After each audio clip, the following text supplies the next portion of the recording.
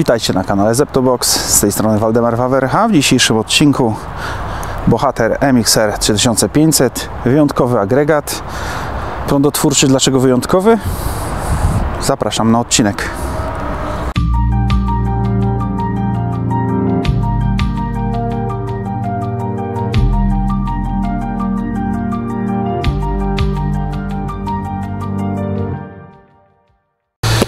Więc jak doskonale wiecie, ja buduję kogenerator o modulowanej mocy cieplnej i przy okazji modulowanej mocy elektrycznej. Ten agregat to agregat prądotwórczy inwerterowy.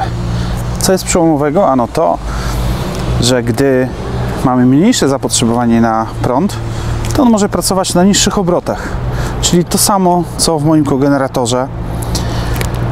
To samo pod tym względem, że po prostu kiedy będzie potrzeba mniej energii, wolniej może pracować. Obroty silnika nie mają tutaj żadnego znaczenia i pięknie wszystko pracuje.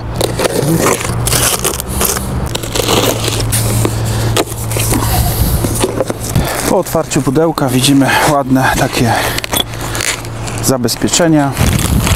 W komplecie jest rurka do napełniania oleju, klucz do świec i taki śrubokręt jakiś. Do tego jest wtyczka i kabel do ładowania akumulatora, ale też ciekawy, bo z zainstalowaną wtyczką normalnie 12V, więc będzie można go też wykorzystać do innych prac, a to się cieszę.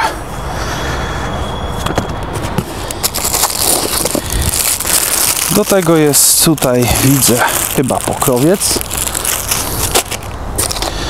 I właśnie, i przewód do łączenia tych agregatów równolegle. To są agregaty, które można połączyć równolegle, to znaczy z tego co rozumiem tylko dwie sztuki, no ale to i tak, słuchajcie, moc 3200 W to już jest coś. Model jest oczywiście 3500, oni tam jakoś tam sobie to oznaczają, tak jak mam tego mojego gigatora 3000, on tak naprawdę jest 2 i coś kW, więc jest to urządzenie dosyć ciężkie, ale kompaktowe. Jak na tą moc, to naprawdę jest świetnie. Agregat nie jest zalany olejami, więc za chwilę będę musiał jechać kupić olej 10W30. Agregat waży około 20 parę kilogramów. Na przedniej ściance możemy zobaczyć dwa gniazda 230 V. Jestem ciekaw, jakie jest zabezpieczenie. Bo tu akurat nie jest napisane. Do, tutaj są wtyczki połączenia równoległego z drugim takim samym agregatem. Tu są złącza, dwa złącza USB.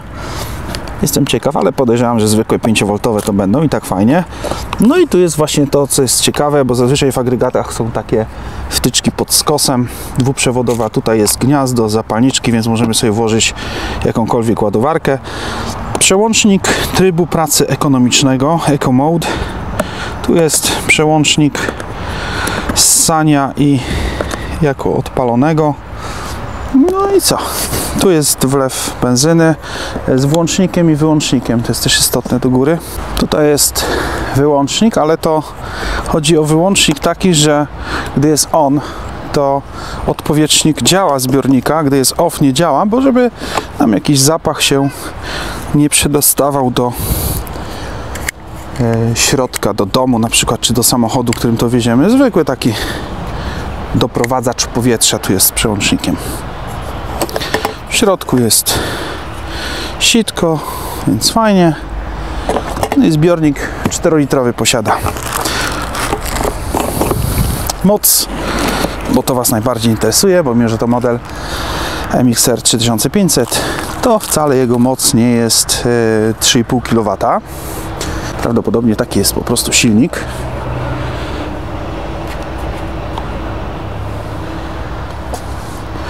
Tabliczka znamionowa mówi nam, że 3 kW ma Power Factor 1 8,3 ampera na 12 V waga netto 21 kg i tu jest, że jest 50 Hz, 230 V i 13 A.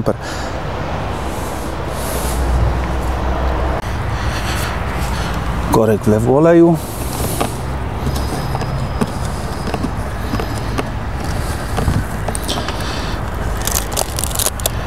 No, sucho.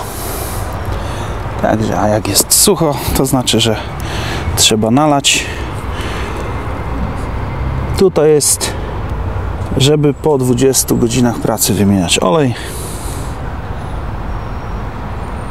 lub miesiącu używania. Z tego co rozumiem, pierwszy raz, a później już zgodnie z prawidłami. Dojście jest bardzo proste. Z tej strony jest pod klapką olej, z tej strony jest filtr powietrza. No dobra, ale i tak muszę jechać zakupić olej, bo tego standardowo w agregatach nie ma. Pierwsza zmiana oleju e, jest dosyć istotna.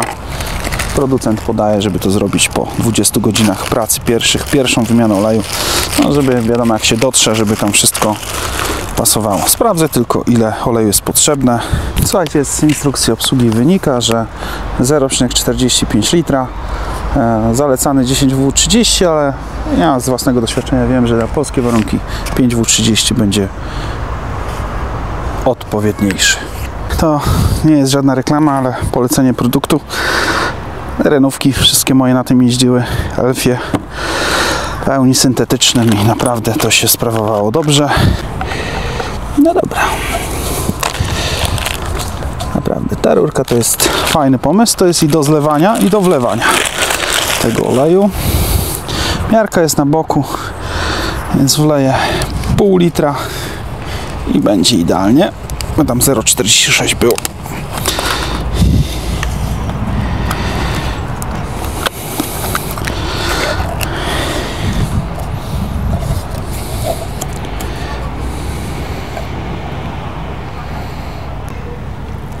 No i dobrze, niech sobie ten olej tam zleci. I w międzyczasie paliwo. Znowu nie mam lejka. Znowu mnie zbesztacie. Nie mam lejka do paliwa. Wchodzi tu 4 litry benzyny. Zobaczcie, to jest jeszcze ta ze zbiornika Matiza benzyna.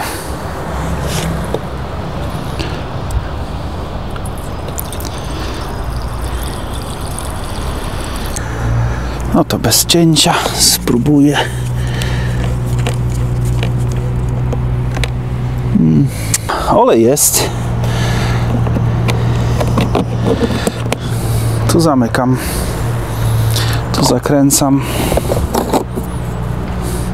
Na on zostawiam. Obrócę go tutaj do Was. Czyli w tej chwili na ran. Być może ssanie będzie potrzebne albo i nie. Zobaczymy najpierw na ssaniu. Eco Switch na razie nie włączam. I zobaczę. O, jeszcze sobie rękę rozwalę. No jednak ssanie już nie będzie potrzebne. Wydech to ma z tyłu.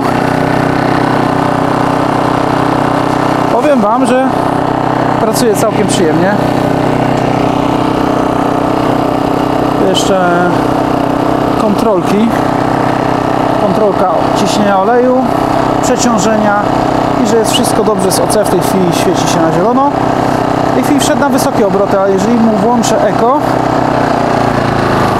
to właśnie sobie odjął gazu i będzie pobierał przy obciążeniu ponoć 24-25%, czyli 1 czwartej będzie pobierał zaledwie 0,4 litra na godzinę. No oczywiście to wszystko sprawdzę.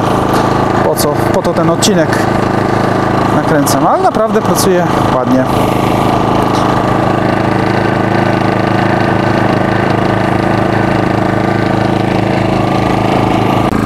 Czyli jeszcze raz Wam przypominam, po pierwszym użyciu 20 godzin lub pierwszy miesiąc wymienić olej bezwzględnie.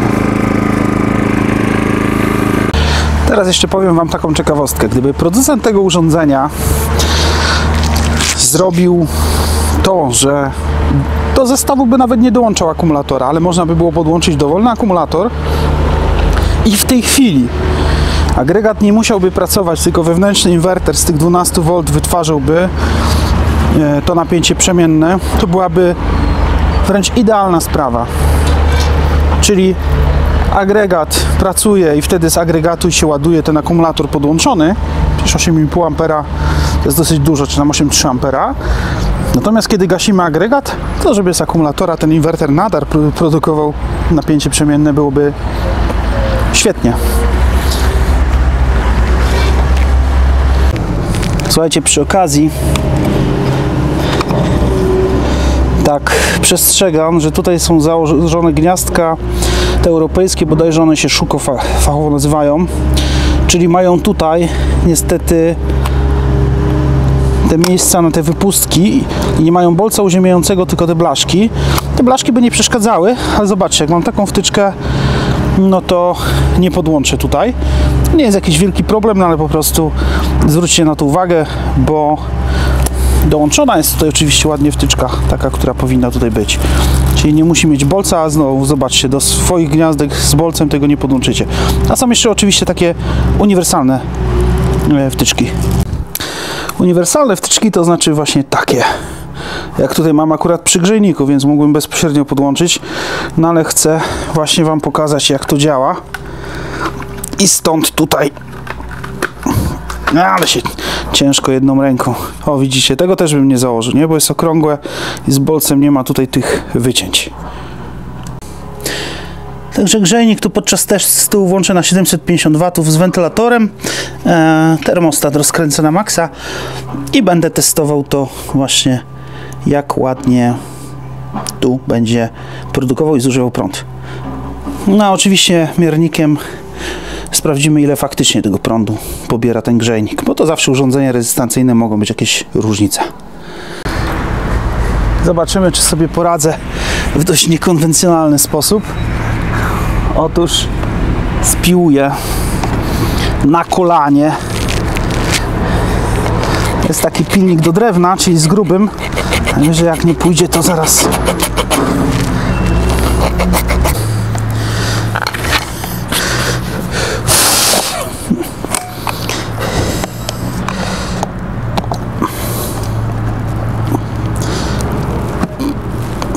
No i weszło. Widzicie, chwila, moment, przerobione. Dobra, jest pod czerwony znacznik, jest, widzicie. I to palimy. Także odpalam. O, no to pozycji czołg spróbuję. A od razu poszło.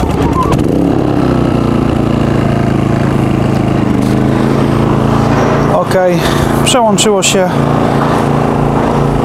Naprawdę bardzo cichutko on pracuje. Znaczy wydaje się, bo ma taki dosyć niski dźwięk, przyjemny taki. Więc jest 13.56 i tutaj 778 watów. No to Spotkamy się za godzinę, jeszcze pomiar decybeli tylko. Tutaj sobie chodzi ten grzejniczek na tym pierwszym biegu. Więc tutaj mam decybelomierz Unite. Model, tak jak widzicie, UT353. W każdym razie jesteśmy od strony wydechu. Dosłownie około 1 metra. I jest 81 decybeli. Jak ja mówię, no to wiadomo, że to mój głos dociera do tego decybelomierza. Odejdę na 5 kroków. Czyli to jest na około 5 metrów.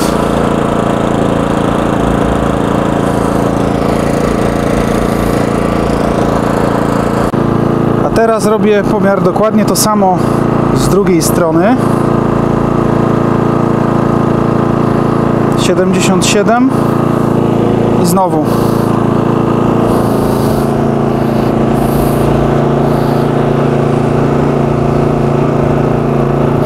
I taki wynik jest mniej więcej 5 metrów od urządzenia. Jak widzicie, jak nawet mówię, bo to jest mikrofon w tym czujniku jest dookulny, więc on zbiera wszystko.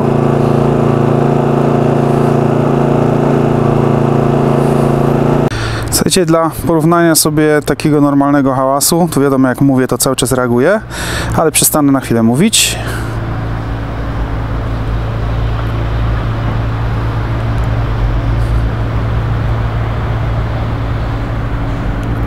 Więc mamy około 53 dB tak stałego dźwięku w tym miejscu, w którym tutaj jestem dookoła.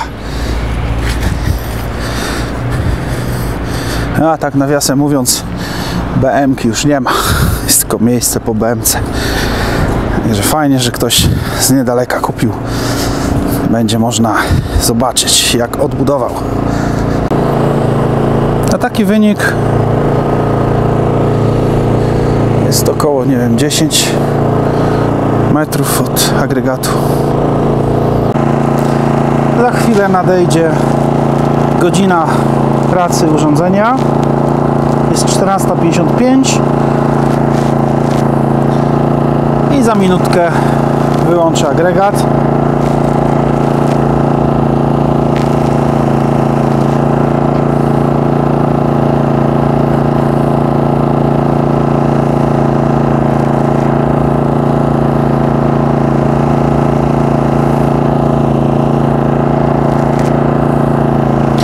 Dobra, jest 14.56, więc można agregat wyłączyć. No i elegancko. Także za chwilę miarka, benzyna i sprawdzimy ile wejdzie. Słuchajcie, i tak nie uwierzycie, że kupiony 1,2 litra taki pojemnik z miarką mi pękł, ale tutaj mam takie od przygotowania jedzenia dla dzieciaków. Dzieciaków już chyba więcej jeść nie będę. 250 ml tu pisakiem poprawiłem trochę.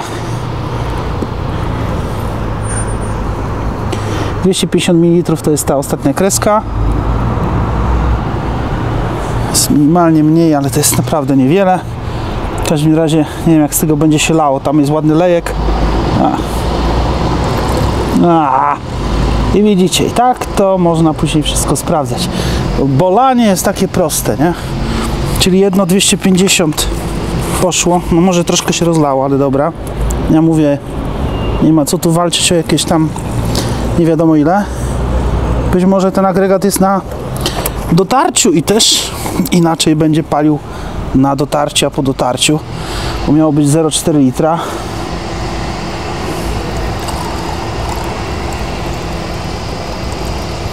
A tutaj już weszło pół litra.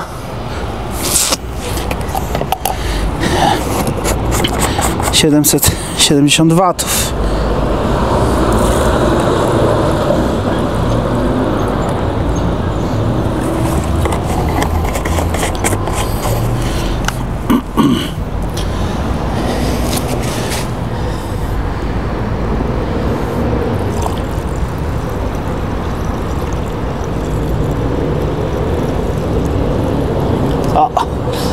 I teraz nalałem troszeczkę za dużo.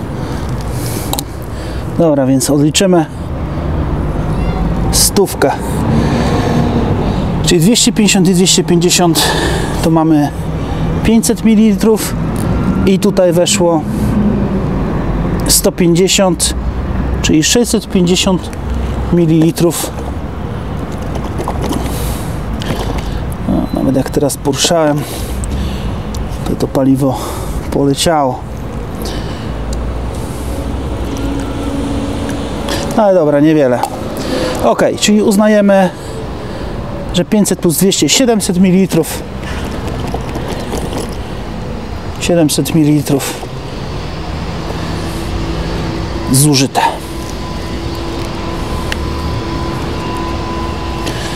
To teraz test pod dużym obciążeniem. To, na co czekaliście.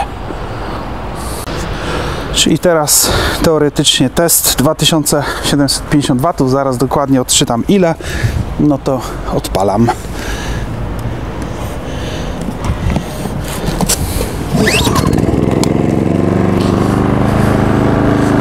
Jeszcze. O. No to teraz już musiał wejść na obrot. Sprawdzimy ile decybeli, a najpierw sprawdzę ile wat. To jest właśnie zaleta tego agregatu, że właśnie teraz chodzi na wyższych obrotach. Ciekawe ile spali. 1830 i 750. 1830 i 750 watów. Tak to wygląda.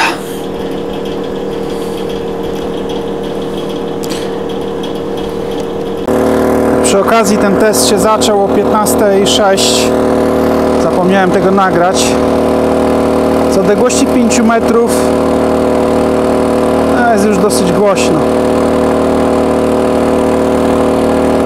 83 dB od strony wydechu, no to od drugiej strony jeszcze. Tutaj jest tak 79 dB od tej strony złącz. Ciekawości jeszcze z boku zobaczę. Jest w tej chwili takie ujęcie z boku. No 79 dB. Moc poboru 1960 i 750. Tak, to mniej więcej już się trzyma. No i tak przez godzinę teraz potestujemy. Słychać dźwięk. 55 dB jeszcze tu dociera, ale oczywiście mój głos jest zdecydowanie głośniejszy. Jest godzina 15.59. W każdym razie moce są cały czas pobierane mniej więcej takie same. Później podsumuję Wam na filmie zużycie paliwa i mocy. Jest godzina 16.05. Za chwilę wyłączę agregat i będę sprawdzał ile zużył tej benzyny. Także teraz rozumiecie o co chodzi z tym silnikiem Matiza. 16.06 wyłączam.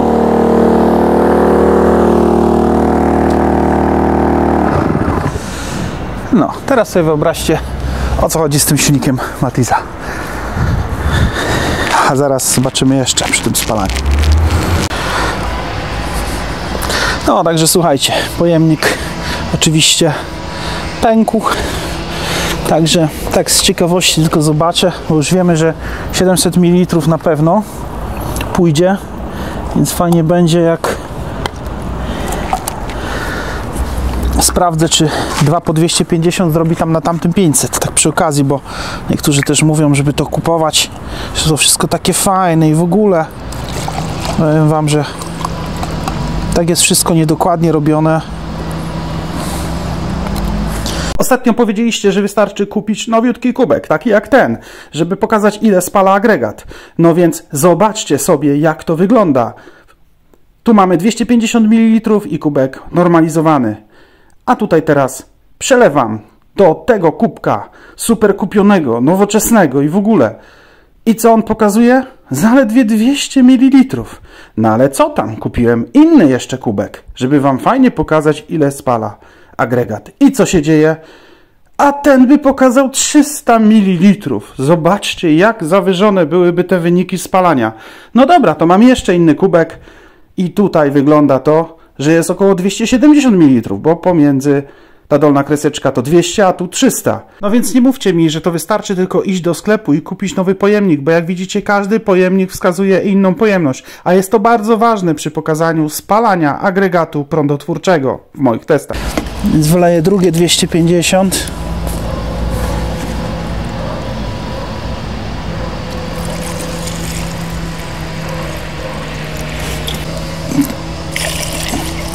Tu mamy dwa, czyli powinno pokazać 500 w tym. A pokazuje około około 600, widzicie? No, a według tego już bym tu lał prawie 600 ml. No to wlewam.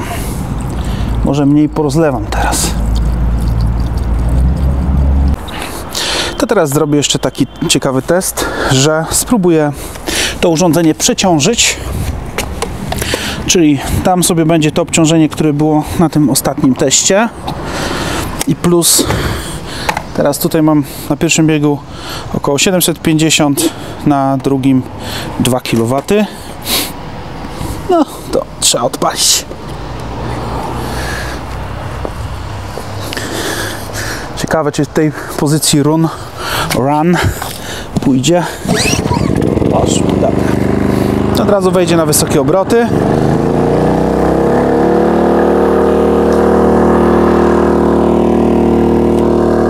No to włączam na pierwszy bieg ten dodatkowy. O, zgłasza przeciążenie, ale działa.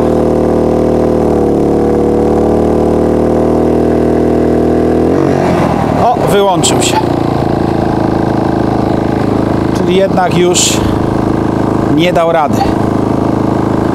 A chciałem już włączyć 2 kW obciążenie. Ciekawe, czy sam spróbuję, czy trzeba AC reset zrobić. No nie, nie ma reakcji, jest cały czas tylko, że overload. Tak, czyli wyłączę Eco Mode. A, to już nic nie zmienia. To jest właśnie szczególnie na wolnych obrotach istotne. Włączę wentylator, przeciążenie, włączę od razu mocno. 2 kW włączyłem. Czyli na dwójeczkę tutaj. Ta sama reakcja. Po chwili przestał pracować. Trochę szkoda, mógłby wznawiać się sam bez wciskania tego przycisku.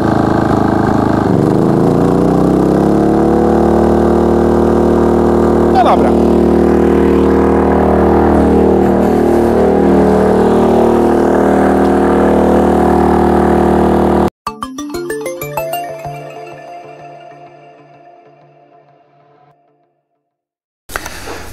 Słuchajcie, a więc podsumowanie tego testu.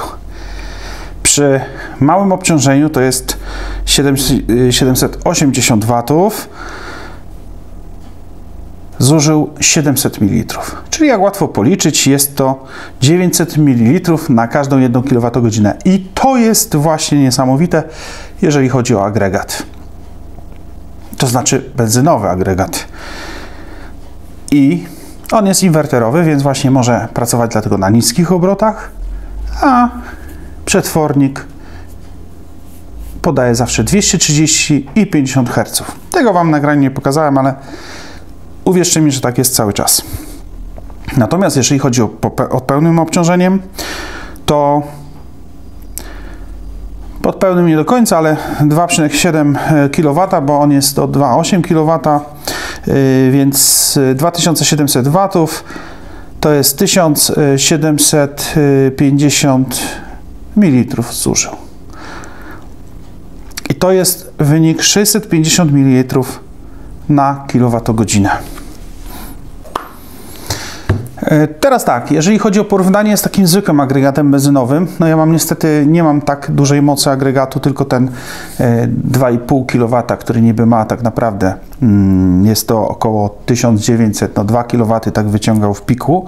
W każdym razie, no w tamtym przypadku zużycie jest bardzo zbliżone na 1 kWh. Czyli tutaj przy tym agregacie inwerterowym jest 650 ml na 1 kWh przy 2700 W, a przy tym moim starym agregacie przy obciążeniu 1900 W, około 1-2 litra pobiera, to wychodzi, że 630 ml na kWh.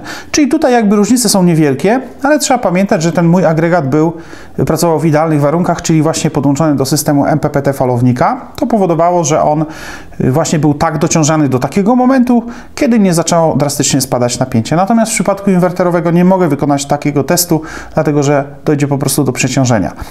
Także ten inwerter, który jest w tym agregacie, naprawdę robi fajną robotę, szczególnie przy niskich obciążeniach, bo wiecie, co jest najgorsze? Przy właśnie na przykład tym projekcie kogenerator, czy, czy właśnie przy zwykłym agregacie, że Większość agregatów, czy pracuje pod pełnym obciążeniem, czy prawie pod żadnym obciążeniem, to muszą dostosowywać swoje obroty do prądnicy i to powoduje duże zużycie, a inaczej mówiąc, małą różnicę pomiędzy zużywaniem, kiedy 500 W zużywamy, a kiedy zużywamy 2 kW. Ta różnica na godzinę jest niewielka. Natomiast w przypadku właśnie tych agregatów inwerterowych, to już jest taki pomysł trochę jak z mojego kogeneratora, tylko brakuje tam jeszcze właśnie baterii pośredniczącej, to by było fajne. Jest właśnie na tyle fajne, że obroty tego silnika mogą spaść naprawdę niskich, a na wyjściu zawsze jest 230 V, 50 Hz, bo on ma w sobie wbudowany inwerter. Inwerter właśnie spokojnie wytrzymywał przeciążenie do y, mniej więcej 3,5 kW, no ale mm, no by musiał jakieś żarówki pokombinować, żeby tak dokładnie sprawdzić, ile tam można go obciążyć, no ale według plakietki 3 kW można go obciążyć i tak pewno jest. Y, natomiast zalecane tam wszędzie, gdzie czytałem, to jest 2,8 kW. Jak na blackout, cały dom można tym zasilać i to, co jest właśnie cały czas najfajniejsze. Czy go obciążymy, czy dociążymy, czy odciążymy, 230 V 50 Hz na wyjściu. I to jest ten sekret. Subskrybujcie, lajkujcie, komentujcie. Zawsze Was o to proszę, e, bo naprawdę aż się chce wtedy te filmy nagrywać. Dzięki serdeczne za uwagę. Na razie, hej.